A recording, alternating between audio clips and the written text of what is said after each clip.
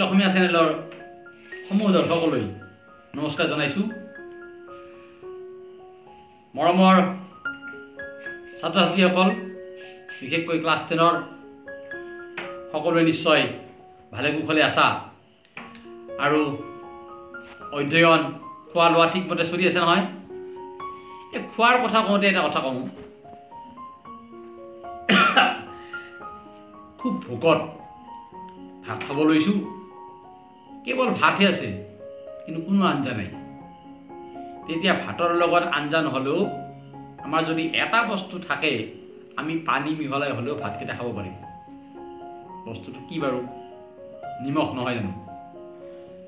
এই নিমখৰ কথাকে আজি আমি আলোচনা কৰিম। নিমখ মানে আমি খোৱা লৱণ যাৰ ৰাসায়নিক নাম ছ'ডিয়াম ক্লৰাইড সংকেত হ'ল এন এ চি এল এতিয়া নিমখটো যে আমি কেৱল পোনে পোনে খোৱা কাৰণে ব্যৱহাৰ কৰোঁ তেনেকুৱা নহয়। নিমখৰ পৰা আমাৰ প্ৰয়োজনীয় কিছুমান ৰাসায়নিক দ্ৰব্য উৎপন্ন কৰিব পাৰি। আৰু সেই দ্ৰব্যবোৰ উৎপন্ন কৰোঁতে নিমখক কেঁচা সামগ্ৰী ৰূপে ব্যৱহাৰ কৰা হয়। যেনে ছ'ডিয়াম হাইড্ৰক্সাইড নিমখৰ পৰা পাব পাৰি। বেকিং ছ'ডা কাপোৰ ধোৱা ছ'ডা ব্লিচিং পাউডাৰ এনেকুৱা গুৰুত্বপূৰ্ণ আমাৰ ব্যৱহাৰৰ উপযোগী কিছুমান সামগ্ৰী আমি নিমখৰ পৰা ছ'ডিয়াম ক্লৰাইডৰ পৰা উৎপন্ন কৰিব পাৰোঁ। সেই বিষয়ে আজি আমি আলোচনা কৰিম। ছ'ডিয়াম ক্লৰাইডক কেঁচা সামগ্ৰীৰূপে ব্যৱহাৰ কৰি উৎপাদন কৰা দ্ৰব্য কেইটামান তোমালোকক কিতাপত দিছে যেনে ছ'ডিয়াম হাইড্ৰক্সাইড বেকিং ছ'ডা কাপোৰ ধোৱা ছ'ডা ব্লিচিং পাউডাৰ এই পদাৰ্থবিলাক এই দ্ৰব্যবিলাক ছ'ডিয়াম ক্লৰাইডৰ পৰা কেনেকৈ উৎপন্ন কৰিব পাৰি ইয়াৰ ব্যৱহাৰ কেনেকুৱা এইবিলাক কথাকে আমি আজি বাৰটোত আলোচনা কৰিম। প্ৰথমতে আহিছোঁ ছ'ডিয়াম হাইড্ৰক্সাইড ৰাসায়নিক সংকেত এন এ অ' এইচ প্ৰস্তুত পদ্ধতি।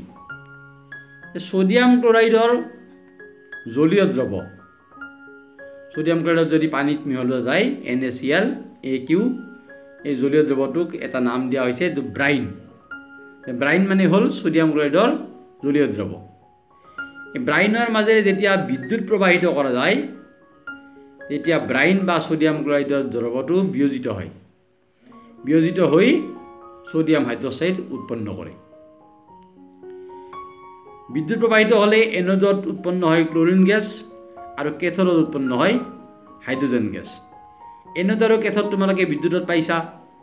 এন'ড হ'ল ধনাত্মক বিদ্যুৎ দ্বাৰ আৰু কেথোড হ'ল ঋণাত্মক বিদ্যুৎ দ্বাৰ।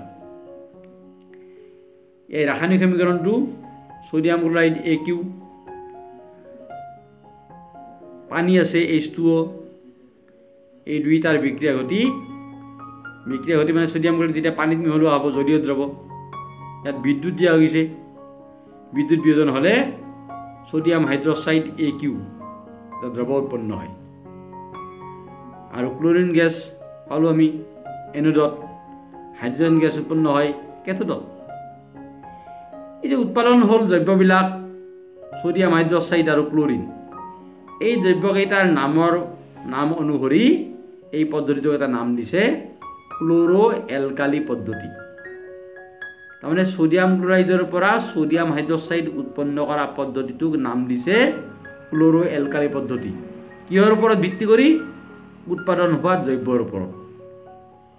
ক্লৰিন উৎপন্ন হোৱাৰ কাৰণে নামটো আহিল ক্ল'ৰ' আৰু ছ'ডিয়াম হাইড্ৰক্সাইড উৎপন্ন হোৱাৰ কাৰণে নামটো আহিল এলকালি। এতিয়া ছ'ডিয়াম হাইড্ৰক্সাইডৰ ক্লৰিনৰ হাইড্ৰজেনৰ কি কি কামত ব্যৱহাৰ কৰিব পাৰি সেই সম্পৰ্কে আমি পাম। ছ'ডিয়াম হাইড্ৰক্সাইডৰ ব্যৱহাৰ। এই পদাৰ্থটোক ধাতুৰ পৰা গ্ৰীজ আঁতৰাবলৈ ব্যৱহাৰ কৰা হয়। চাবোন অপমাৰ্জক অপমাৰ্জক মানে ডিটাৰজেণ্ট অপমাৰ্জক কাগজ কৃত্ৰিম আহ এইবোৰ প্ৰস্তুত কৰিবলৈ ব্যৱহাৰ কৰা হয়। আৰু কাপোৰ বিৰঞ্জিত কৰিবলৈ মানে কাপোৰৰ পৰা ৰং উঠাবলৈ ব্যৱহাৰ কৰা হয়।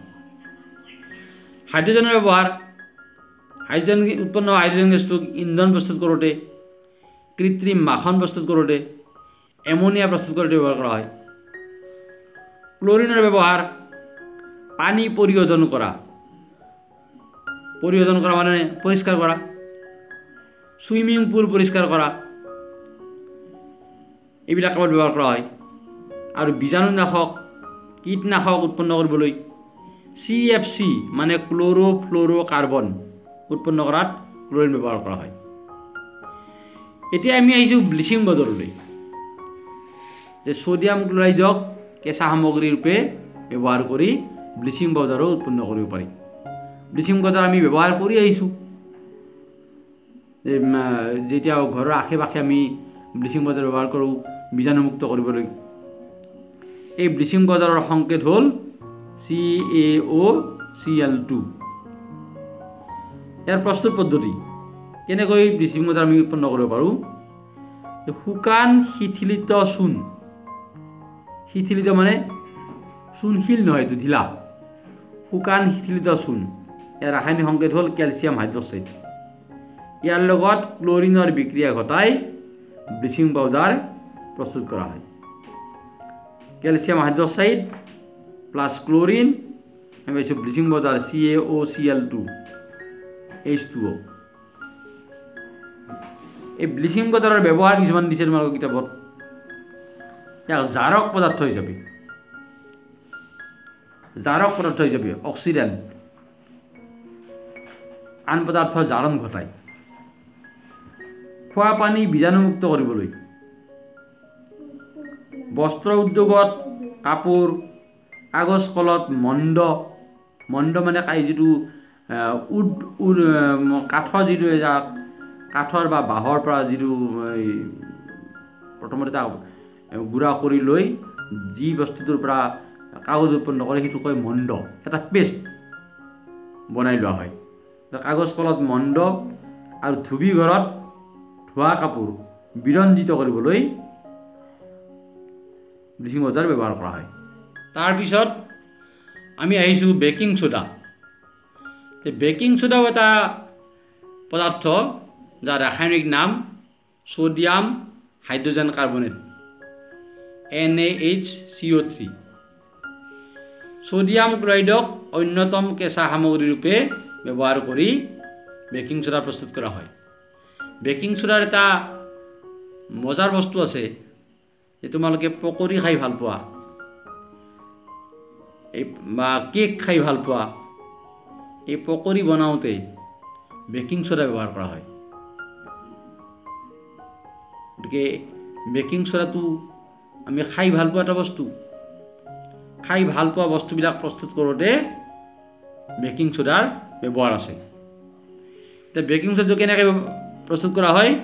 ছ'ডিয়াম ক্লৰাইড পানী কাৰ্বন ডাই অক্সাইড এমনিয়া এইকেইটা পদাৰ্থৰ ৰাসায়নিক বিক্ৰিয়া ঘটিবলৈ দিলে ইয়াৰ পৰা উৎপন্ন হয় ammonium chloride N H four C L আৰু ছ'ডিয়াম হাইড্ৰজেন কাৰ্বনেট অৰ্থাৎ বেকিং চ'ডা ছ'ডিয়াম হাইড্ৰজেন কাৰ্বনেটক যেতিয়া তাপ দিয়া হ'ব তাৰ পৰা ছ'ডিয়াম কাৰ্বনেট উৎপন্ন হ'ব। লগতে পানী আৰু কাৰ্বন ডাই অক্সাইড এই বেকিং চ'ডাৰ এতিয়া ছ'ডিয়াম হাইড্ৰজেন কাৰ্বনেট আমি কি কি কামত ব্যৱহাৰ কৰোঁ সেই বিষয়ে আমি পাম। বেকিং পাউডাৰ প্ৰস্তুত কৰিবলৈ। বেকিং পাউডাৰ ৰান্ধনী ঘৰত প্ৰায় ব্যৱহাৰ হোৱা এটা পদাৰ্থ। বেকিং পাউডাৰ প্ৰস্তুত কৰিবৰ কাৰণে বেকিং চ'ডা ব্যৱহাৰ কৰা হয়। পাউৰুটি বা কেক ফুলাই কোমল আৰু সোপোকা কৰা।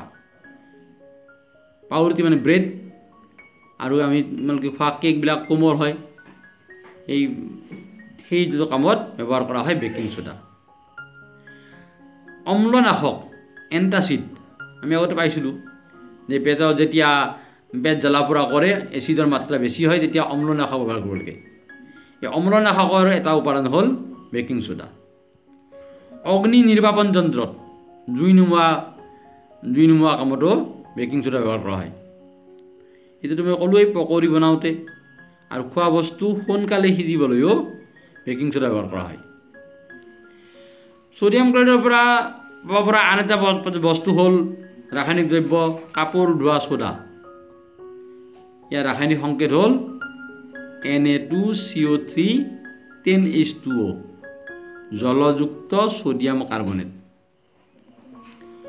প্ৰস্তুত পদ্ধতি যে ছ'ডিয়াম কাৰ্বনেটৰ আমি ইয়াত পালোঁ ছ'ডিয়াম হাইড্ৰজেন কাৰ্বনেটক তাপ দিলে ছ'ডিয়াম কাৰ্বনেট পালোঁ।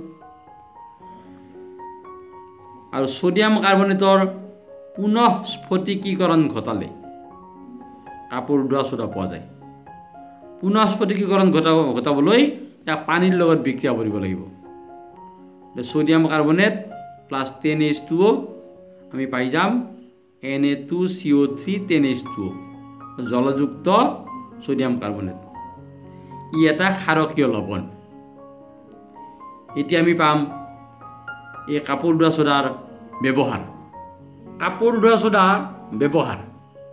ইয়াক কি কি কামত ব্যৱহাৰ কৰিব পাৰি এতিয়া কিছুমান ইণ্ডাষ্ট্ৰী উদ্যোগ গ্লাছ উদ্যোগ কাঁচ চাবোন কাগজ উদ্যোগত ব্যৱহাৰ কৰা হয় বৰাক্সৰ পণ্য উৎপন্ন ব্যৱহাৰ কৰা হয়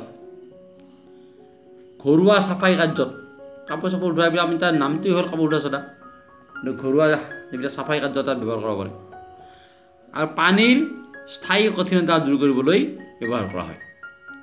এইকেইটা পালোঁ আমি ছ'ডিয়াম ক্লৰাইডক কেঁচা সামগ্ৰী ৰূপে ব্যৱহাৰ কৰি উৎপন্ন হোৱা দ্ৰব্য sodium hydroxide baking soda bleaching powder কাপোৰ ধোৱা ছ'ডা এতিয়া আমি এইবিলাক লৱণ পাইছোঁ sodium carbonate sodium hydrogen carbonate sodium chloride এই লৱণবিলাক শুকান হৈ থাকে না তাত পানী থাকে? এই বিষয়ে এটা কথা আছে যে লৱণৰ স্ফটিকত কিছুমানত পানী আবদ্ধ হৈ থাকে।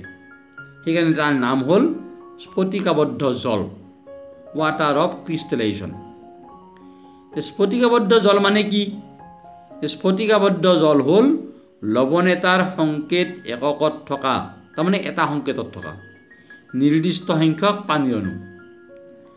যেনে জলযুক্ত কপাৰ ছালফেট এইটো এটা লৱণ ইয়াৰ ৰাসায়নিক সংকেত হ'ল C U S O' four five H two O' এই পাঁচটা পানীৰ অণু থকাৰ কাৰণে জলযুক্ত কৈছে কপাৰ ছালফেটক গতিকে কপাৰ ছালফেটৰ এটা সংকেত এককত পাঁচটা এইচ টু অ' মানে পানীৰ অণু থাকে ঠিক তেনেকৈ জিপচাম লৱণত কেলছিয়াম ছালফেটৰ এটা একক সংকেতত দুটা পানী অণু থাকে কাপোৰ ধোৱা চ'দাত ছ'ডিয়াম কাৰ্বনেটৰ এটা সংকেতত দহটা পানী অণু থাকে তাৰপিছত আমি আহিছোঁ প্লাষ্টাৰ অফ পেৰিছলৈ এই প্লাষ্টাৰ অফ পেৰিছ এনেকুৱা এটা পদাৰ্থ যাক তোমালোকে দেখা পাই থাকা আমি সকলোৱে দেখা পাই থাকোঁ আৰু ই আমাক কিছুমান বিপদত ডাঙৰ বিপদত সহায় কৰে। তোমালোকে দেখা পাইছা যে ক'ৰবাত দুৰ্ঘটনা হ'লে ক'ৰবাত ডাঙৰকৈ আঘাত পালে হাত ভঙা ভৰি ভঙা এইবিলাকত প্লাষ্টাৰ মাৰে। ডাক্তৰে প্লাষ্টাৰ মাৰে তেতিয়া বগা বেণ্ডেজ দিয়ে তাৰ ওপৰতে প্লাষ্টাৰ মাৰে। আকৌ এই প্লাষ্টাৰটো বিছ দিন পিছত খুলিব লাগিব একমাহ পিছত খুলিব লাগিব। এই প্লাষ্টাৰ কৰাৰ মূল বস্তুটোৱেই হ'ল প্লাষ্টাৰ অফ পেৰিছ যাৰ ৰাসায়নিক নাম কেলছিয়াম ছালফেট হেমিহাইড্ৰেট। সংকেত হ'ল C A S O' four half H two O' প্ৰস্তুত পদ্ধতি জিপচাম আমি পালোঁ gypsum C A S O' four two H two O' জিপচামক C A S O' four two H two O' three seventy three kelvin K মানে হ'ল kelvin. Kelvin এটা উষ্ণতা জোখা scale Celsius kelvin three seventy three kelvin উষ্ণতাত উত্তপ্ত কৰিলে পানীৰ অণু হেৰুৱাই তাৰমানে জিপচামৰ পৰা পানীৰ অণু আঁতৰি যায়। হেৰুৱাই calcium sulphate hemihydrate C A S O' four half H টুত পৰিণত হয়। ইয়াকে কোৱা হয় প্লাষ্টাৰ অফ পেৰিছ এতিয়া প্লাষ্টাৰ অফ পেৰিছৰ ব্যৱহাৰ মই আগতে ক'লোৱেই যে ডাক্তৰে ভগা হাৰ সঠিক স্থানত ধৰি ৰাখিবলৈ প্লাষ্টাৰ অফ পেৰিছ ব্যৱহাৰ কৰে। যাক আমি সাধাৰণ অৰ্থত প্লাষ্টাৰ কৰা বুলি কওঁ। পুতলা সজা কামত মসৃণ তল মসৃণ তল মানে এই ঘৰৰ বেৰবিলাকত পেৰিছ কাটা বুলি কওঁ নহয়। ৰং কৰোঁতে বেৰখন মিহি কৰিবলৈ তাতো ইয়াক ব্যৱহাৰ কৰা হয়। ঘৰ সজোৱাৰ বিভিন্ন সামগ্ৰী প্ৰস্তুত কৰোঁতে ব্যৱহাৰ কৰা হয়। গতিকে এইখিনি আমি পালোঁ। এই প্লাষ্টাৰ অফ পেৰিছ হ'ল এবিধ বগা পাউডাৰ তোমালোকে কিতাপত পাবা। কিন্তু প্লাষ্টাৰ অফ পেৰিছক যদি মুকলি কৰি থোৱা হয় তেতিয়া বায়ুৰ জলীয় ভাপৰ লগত বিক্ৰিয়া কৰি সি পুনৰ টান মাৰে। গতিকে সেইকাৰণে প্লাষ্টাৰ অফ পেৰিছক বায়ুত খোলাকৈ ৰখা নহয়। এতিয়া বৰ ধুনীয়াকৈ দিয়া আছে অনুশীলনৰ প্ৰশ্নও আছে। আমি পৰৱৰ্তী ক্লাছত এই পাঠটোৰ অনুশীলনীত তোমালোকক কি কি প্ৰশ্ন দিছে সেইবিলাকৰ আলোচনা কৰিম। ধন্যবাদ।